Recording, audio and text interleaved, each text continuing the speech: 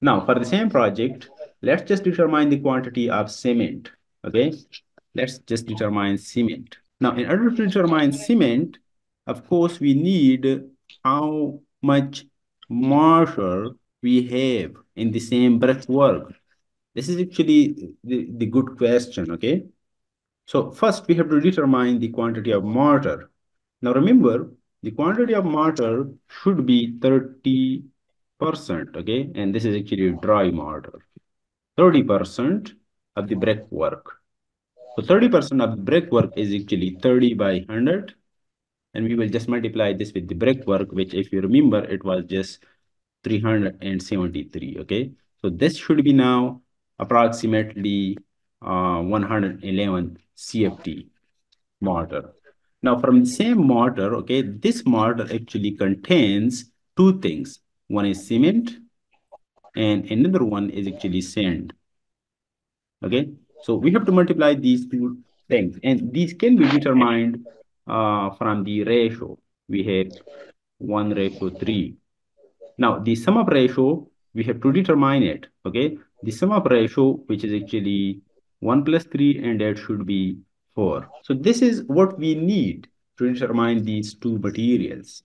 And even, let me just erase these things, okay, these things, uh, write a specific formula for this approach, okay? In order to determine the quantity of anything, quantity of material, you can say, you have to take the ratio of the material, okay?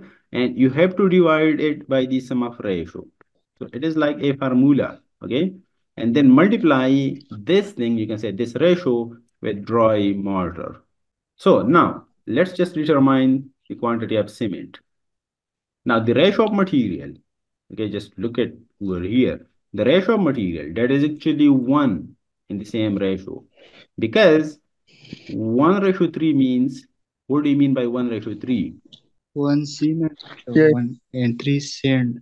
Okay, so it's like the, the ratio of material, you can say, the ratio of mortar. One represent, it represents actually uh, cement's quantity and three represents the quantity of sand, okay? So we have to take the ratio of uh, material, which is actually one this time. And we will divide this by the sum of ratio. Now the sum of ratio that is actually four. And then we will multiply this with the dry mortar, okay? Or you can say the dry volume. And if you remember, it is just 111. So 111, okay? So if you just multiply 111 with 1, that is the same thing, and then divide it by 4. So you will have uh, 27 maybe CFT cement.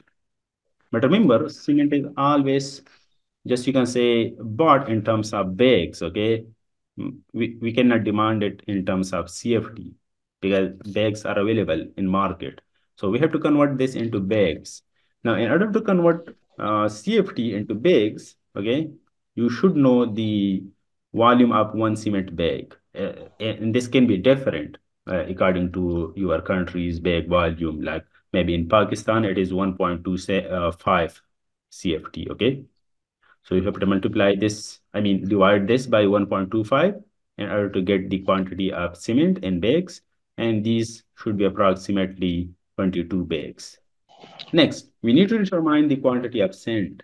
So you have to use the same formula, like maybe the ratio of sand, which is actually 3, divided by the sum of ratio, which is 4, and multiply it with the same thing, okay, which is the dry mortar. So this should be the quantity of sand, okay? And this is so simple, which should be 83 maybe, like 84 CFT sand. Okay, you can even convert this into sacras, which is actually like lo local unit. Okay, so you have to uh, divide that by 100. Okay, which is almost like 0 0.8 for sacra. It is local thing, maybe like 100 CFT is actually one sacra. Okay,